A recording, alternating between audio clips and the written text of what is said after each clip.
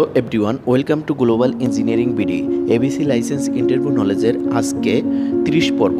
এই পর্বে আমরা আলোচনা করব এই ক্যাটাগরির বেশ কিছু কমান প্রশ্ন নিয়ে।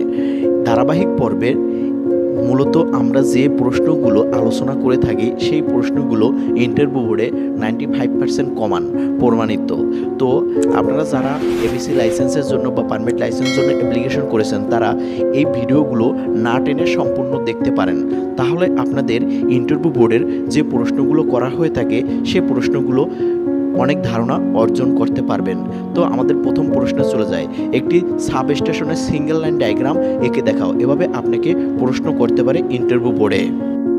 স্ক্রিনে দেখতে পাচ্ছেন যে একটি সিঙ্গেল লাইন ডায়াগ্রাম রয়েছে সাব স্টেশনের এভাবে আপনাদেরকে অঙ্কন করে দেখিয়ে দিতে হবে ইন্টারভিউ বোর্ডে। দ্বিতীয় প্রশ্ন ট্রান্সফর্মার কাকে বলে?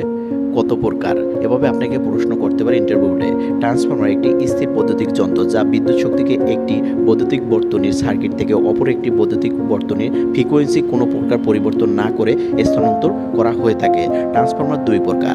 একটি হলো স্টেপ আপ ট্রান্সফর্মার অপরটি হলো স্টেপ ডাউন ট্রান্সফর্মার এভাবে আপনাকে বুঝিয়ে দিতে হবে ইন্টারভিউ বোর্ডে আজকের তৃতীয় প্রশ্ন ট্রান্সফর্মার কানেকশন পদ্ধতি সমূহ কী কী? এভাবে আপনাকে প্রশ্ন করতে পারে ইন্টারভিউ বোর্ডে একটি থ্রি ফেজ ট্রান্সফর্মার সারভাবে কানেকশন করা যায়।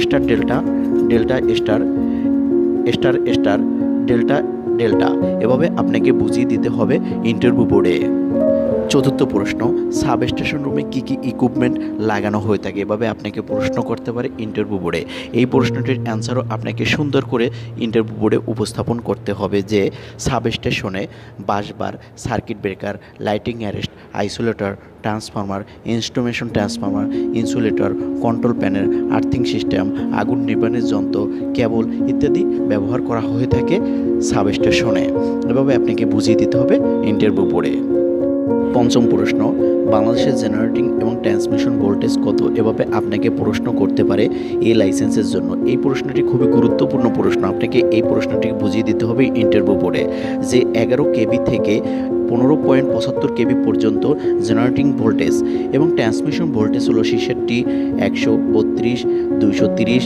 চারশো কেবি। এটি হলো জেনার, ট্রান্সমিশন ভোল্টেজ। এভাবে আপনাকে বুঝিয়ে দিতে হবে ইন্টারভিউ বোর্ডে। আর যদি আপনাকে প্রশ্ন করে যে সর্বোচ্চ ট্রান্সমিশন ভোল্টেজ কত, তো তাহলে চারশো ভোল্টেজ হলো সর্বোচ্চ ট্রান্সমিশন ভোল্টেজ।